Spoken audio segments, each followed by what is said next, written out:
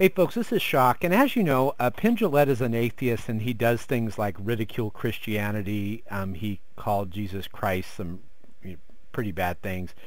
He did a show one time where, um, if you click below this video, you can see what he did, and he's very hostile uh, to Jesus Christ and Christianity. So what I thought I would do in a in a um, more civil way is to challenge him to an intellectual debate. Because I used to be an atheist myself, and I realized how atheism is full of crapola, and I'm now saved through Jesus Christ, my Lord my Savior. So I really know that if Penn Jillette debated me, that um, he would be exposed for not really being uh, an intellectual because atheism is really a faith-based worldview. There really is no proof and evidence at all that it's even accurate and correct. As you know, we challenge the Atheist Experience show to, you know, give us some proof and evidence that atheism is accurate and correct, and they obsessed about unicorns in a cardboard box for like five minutes. So we've been challenging people to debate. excuse me. We've won 48 debates in a row. Christian theism has conquered 48 atheist debates in a row. And um, so evidently Penn heard about it.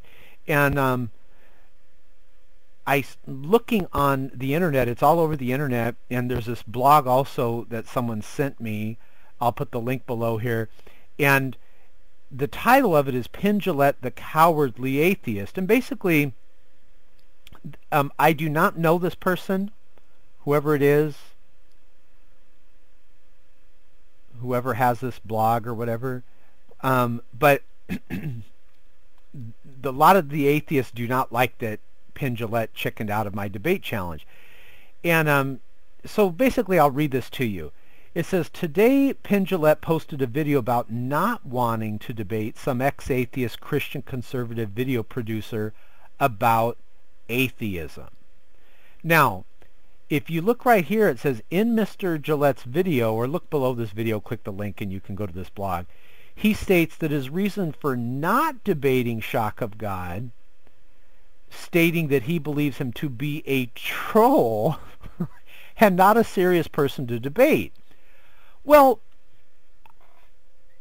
look, I've debated 48 people and I've never called them trolls when someone wants to debate, you know, I'm confident that Christian theism is more plausible than atheism.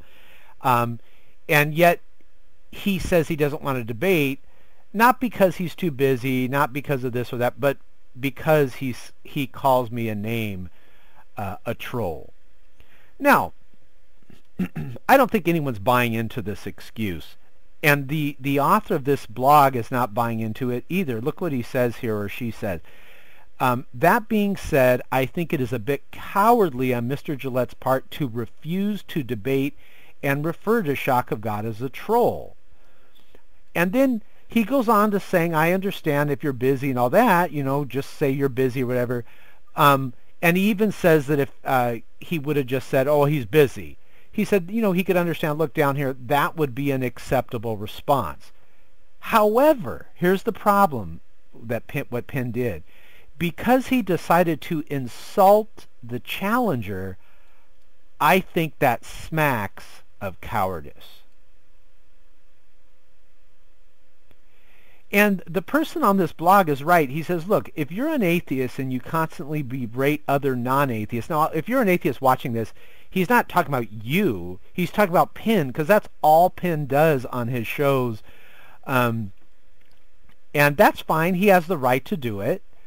Um, but we have the right to go ahead and say, okay, well, let's have a debate. Let's see what's wiser, the fiction of atheism or the nonfiction of Christian theism. So the author of this blog says, look, if you're an atheist and you constantly berate other non-atheists for whatever they believe, you should not be surprised when somebody decides to fight back. Even worse, atheists tend to claim they have reason and science on their side, yet they continually refuse to debate clear facts that present a contrary position to their own. Now, it goes on and on. He says, more than that, Penn has constantly berated those who do believe on his show. So he does berate, you know, Christians over and over and over. Um, he even said some very bad things about Jesus Christ. I'm not even going to get into it here. Um, but I mean, you know, basically when I was showing my mom, I go, Mom, look what this guy does. You know, my mom, she goes, I can't believe that guy, you know, that he would say that. So I think it's backfiring on Penn. People just think that he's acting like a bunch of trash. It's like so flaky the way he's acting. For example, he said this guy says for example in the episode dealing with the conspiracies behind the moon landing i guess penn believes the moon landing was a conspiracy i don't know i didn't see the conspiracy he asked one of the prop guys about the supposed prop rocks the prop guy was busily sticking a drill through a bible for no apparent reason now i do not watch his show all that often, but it was clear to me that he was taking the time to bash Christians and Christian belief for no real reason other than he could. So I'm glad in a way that Penn chickened out and cowered to my debate. I mean, they're just dishonest guys. They they have no plausible argumentation for why we should believe atheism is true. This person on this blog says it best yet he cowers when challenged directly.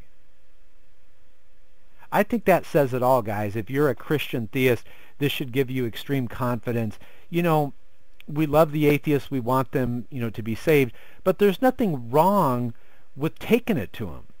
Taking it to them and challenging them and say, let's have a civil debate you give us reasons why you believe God doesn't exist. We'll give you reasons why we know God does exist.